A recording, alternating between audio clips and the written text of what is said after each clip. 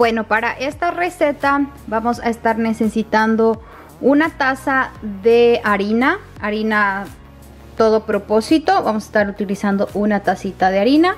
Vamos a estar utilizando lo que es ah, polvo de hornear, una cucharada de polvo de hornear. Vamos a estar utilizando lo que es un cup de leche. Es leche entera. Ustedes pueden utilizar pues la leche que ustedes deseen. Esta es leche entera. Voy a estar utilizando una cucharadita cucharadita, no cucharada, cucharadita de lo que es a sal.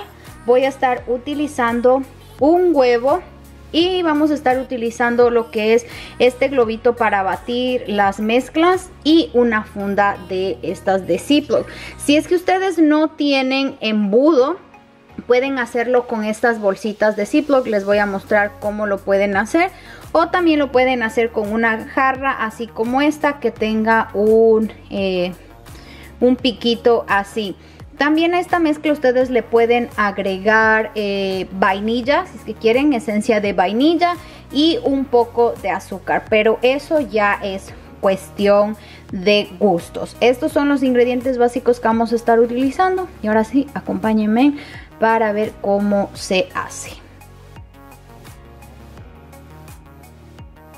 Bueno, ahora sí vamos a proceder con lo que es la mezcla. Lo primero que vamos a hacer es que vamos a mezclar nuestros ingredientes líquidos. Vamos a poner lo que es primero la leche. Recuerden una taza de leche. Ahora vamos a poner lo que va a ser el huevo siempre. Traten de mezclar primero todos los ingredientes líquidos. Vamos a mezclar súper bien esto.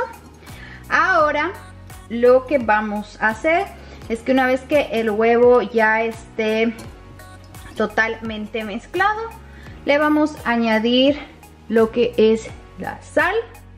Vamos a añadir lo que es el polvito de hornear. Si ustedes quieren que le salga más esponjaditos, pónganle más polvo de hornear, ¿ok? Vamos a ponerle azúcar. ¿Recuerdan que les había dicho que esto es opcional? Pues, eh, ¿qué creen? Mi hijo quiere que le echemos a poquita azúcar, así que le vamos a poner este azúcar, un cuarto de este cup de azúcar y lo vamos a batir. Recuerden que tienen que tratar de mezclar súper bien los ingredientes para que esta mezcla nos quede perfecta. Por eso siempre es recomendable primero los líquidos, ¿ok? Ahí está y ahora sí le vamos a ir poniendo lo que es la harina. Y ahí vamos mezclando. Saben que me gusta mezclar con estos globitos porque siento que se mezcla súper bien. Pero si ustedes no tienen estos uh, globitos, lo pueden hacer con lo que es un uh, tenedor, ¿ok? La masa, ¿cómo tiene que quedar la consistencia de la masa? Tiene que quedar tipo como, un, uh, como una masita para hacer pancakes. Básicamente es lo que nos tiene que quedar. Ok, así que le movemos, le movemos, no nos tiene que quedar ni muy aguada ni muy espesa. Yo siento que la mía, miren, yo siento que esta está como aguada, así que le vamos a poner un poquito de harina y ahí ustedes le van viendo más o menos la cómo va quedando la consistencia de la masita, ¿ok? Yo les voy a mostrar cómo tiene que quedarles exactamente. Ok, ahora una vez que ya tenemos lista nuestra masa, vamos a estar utilizando lo que es la bolsita Ziploc que les había dicho.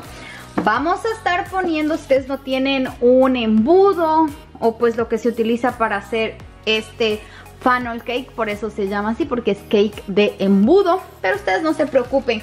Vamos a necesitar esta bolsita o vamos a usar esta bolsita Ziploc y lo que vamos a hacer es que vamos a poner nuestra mezcla. Chequen la mezcla cómo está. No está ni tan aguada ni tan espesa. Entonces vamos a poner nuestra mezcla.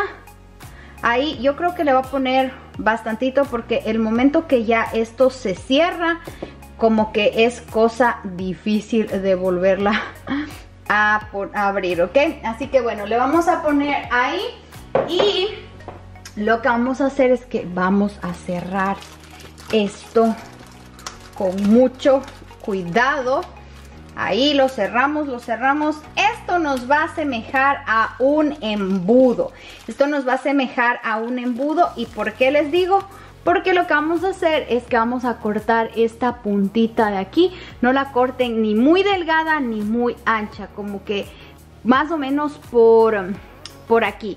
Ni muy delgada ni muy ancha. Entonces vamos a, hacer, a cortarla por aquícito más o menos. ¿Ok? Bueno, ahora sí, lo que vamos a hacer, eh, vamos a poner un sartén con un poquito de aceite. No necesitamos como que muchísimo aceite, sino normal. Y lo que vamos a hacer es que vamos, déjenme, le voy a bajar un poquito la llama por aquí, para que el, aceite no tiene que estar tan, tan, tan caliente, porque si no, este se nos va a hacer, ah, se nos va a quemar muy rápido. Entonces, vamos a esperar que se caliente poquito más el sartén y ahora sí vamos a intentar. Miren, ahora sí, no lo abrí demasiado, no lo abrí demasiado y miren esto por ahí. Así que bueno, vamos a dejar este que este se haga. Súper deli, como les digo, es bien fácil de hacer. Esto es delicioso, delicioso, delicioso. Me encanta, siempre en todas las ferias que voy lo hago, así que las invito a que lo hagan. Si ustedes no se han suscrito todavía a mi canal y esta clase de videos les gusta, no se olviden de hacerlo, es totalmente gratis. Activen la campanita para que YouTube les avise cada vez que hay un nuevo video. Y pues bueno, vamos a continuar con este segundo intento de funnel cake, a ver cómo nos queda. Ahora sí, como ya vemos que se está dorando por el centro, vamos a tratar de ver que ya esté, miren, falta todavía, yo siento que se cocinan más de los lados, del centro que de los lados, pero vamos a darle la vuelta a esta situación. Como les dije, me gusta darle la vuelta con la pinza y me ayudo de este, de este otro para que no se me vaya a caer. ¡Wow! Nos quedó deli. Miren esta ricura. Este sí que nos quedó, pero perfecto perfecto, perfecto, perfecto. Bueno, como pueden ver, ahí tenemos el resultado de nuestros funnel cakes. Y bueno, a mí en lo personal, cuando ya están ahí listos, me gusta espolvorearle azúcar impalpable o azúcar glass, como ustedes la conozcan. Y a mí lo que me gusta es poner en un cernidor pequeñito y hacer esto, miren. Entonces, quedan una delicia. Ustedes le pueden poner a este azúcar impalpable un poquito de canela y les va a dar un sabor un poquito diferente o un sabor un poquito más especial. Pero miren esta delicia. Lo pueden acompañar con café, lo pueden acompañar con chocolate, con su bebida favorita, pero miren esta cosa, es deliciosa. Espero que pues si es que este platillo te gustó, no te olvides de suscribirte a mi canal, regalarme un like si es que te gusta esta clase de videos y cuéntame, ¿tú lo hiciste? ¿Cómo te quedó? ¿Qué te pareció? ¿Lo has comido antes? ¿Lo has probado antes? Pero déjame decirte que esto es una cosa de loco que te suscribas a mi canal si todavía no lo has hecho. Y pues bueno, déjame todos tus comentarios aquí abajo en la cajita de descripción. Muchísimas gracias por acompañarme en lo largo de este video. Y pues bueno, sin más que decir, yo me despido, las quiero muchísimo y nos vemos en la próxima. Besitos.